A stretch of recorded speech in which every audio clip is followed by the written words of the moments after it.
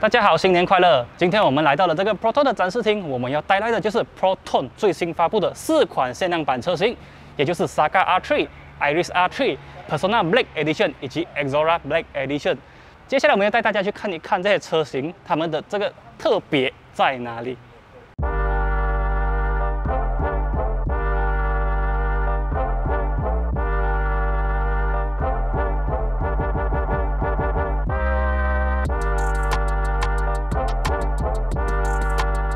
首先，我们先来看一下这个 Saga 的 R3 版本。其实这个 R3 版本跟去年发布的这个 Saga 周年纪念版，它们的外观非常的类似。同样的，也采用了大量的黄色线条做点缀，然后全车的颜色都是黑色的。不同之处在哪里？第一点就是前后的挡风镜上面都有这个 R3 的贴纸。第二点就是座椅采用了 R3 名牌的皮革。第三点就是它的内装还有车尾都有这个 Limited Edition 的名牌。这个就是它们主要的差异地方，其余的细节基本上是大同小异。我们看一下车侧，这个亚瑟的轮圈其实跟这个周年限量版其是一模一样的，只是它们在颜色上面稍微有区别。再来就是这边有一个贴纸，写着八十 two R3，这是什么意思？这个是 Proton 在这个雪邦一千公里耐力赛中，他们的 R3 赛车的车身编码，在 Saga 上面是八十二，在 i r 上面是八十三。接下来我们去看一下车尾。看一下这个车尾，它有这个 Limited Edition，还有 R3 的名牌。除此之外，还有一个小鸭尾，这个就是这辆 Saga R3 的主要特点了。接下来我们就看这个雪邦一千公里耐力赛的常胜军 R3 八十三号 Proton Iris。其实它的外观啊，在这个网上有谍照公开的时候，很多网友就讲它很像 Angry Bird。大家看看是不是很像那个黑色的 Angry Bird 呢？欢迎在影片的下方留言。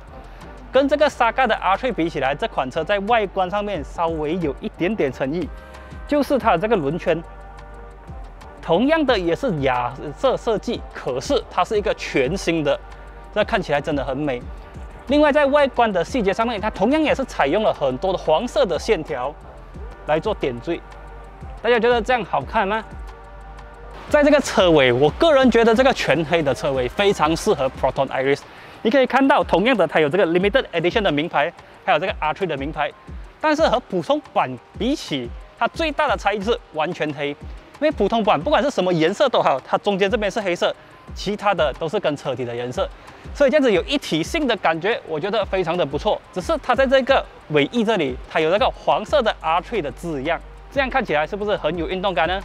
这一个 Iris R3 的内装，我觉得我真的要带大家来看一下。Saga 的不看不用紧，可是 Iris 的一定要看，因为我觉得这一次 R3 Edition 的这一个 Iris 的内装真的非常的衬搭。首先你可以看到这一个冷气边框，还有这个触屏主机边框，它们采用了大量的钢琴黑来做点缀。当然这一个仪表也是。然后这个黄色我就觉得有一点点的多余，但是整体搭配起来的效果其实真的很不错，大家可以看一看这样的内装设计，你喜不喜欢呢？当然，同样的，在这一个中控台上面，它有着这个 R3 Limited Edition 的名牌，然后在这个皮革座椅上面也有 R3 Limited Edition 的字样。我个人觉得这个 interior 设计是我会喜欢的，你觉得喜欢吗？喜欢的话比个心哦。虽然说发布的有四辆车，但是时间所限，所以这个 Persona Black Edition 就是我们今天看的最后一辆车。都说了它是 Black Edition，当然全车都是黑，但是在细节上面还是有一点点的差别。例如说，在这个前方的保险杆，它采用了一个看似雾金的这个材质，然后它的这个轮圈同样的也采用了双色调，然后雾金的设计，看起来整体的质感是好了一点。而且我觉得这个黑色版本应该会很多人都喜欢。接下来我们看的这个就是这个 Persona Black Edition 的内装，它和 Iris R3 的内装一样，因为这一个车身的这个颜色的不一样，所以它们内装也有了一些些许的不一样。例如说这个它的这个冷气出风口的边框就变成了雾金色，当然这个冷气的旋钮同样的也是雾金色，还有排挡杆这边也同样的也是雾金色。除此之外，它跟之前在二零一九年发布的 Persona 小改款是一样的。这里有触屏主机，然后皮革的座椅，气囊方面则是有六 G。另外，全车系都是搭载这个 ESC，所以它的安全部分在这个价位的车款来说，其实是非常的出色的。而这一次 Proton 推出这四款车型的 Limited Edition，其实就是算是当做为他们做一个告别。因为在不久的将来，Proton 即将为一些车款推出再一次改款的车型。那这些车型是什么呢？就让我们等待 Proton 官方的公布了。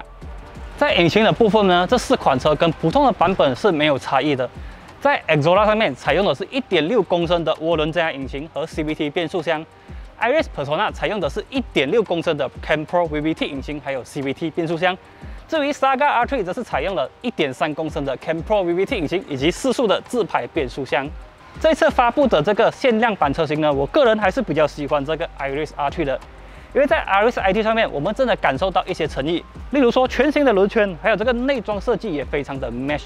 如果你真的打算收藏辆 R3 的 Proton，那么这台车我觉得还是具有收藏价值的。好了，以上就是我们这一期视频的全部内容。因为时间和场地的限制，所以我们这次带来的影片可能有一点点仓促，而且这个灯光效果也不是那么好，所以先跟大家说一声不好意思啦。下一次呢，我们会尽我们的全力做出更好的影片让大家观赏。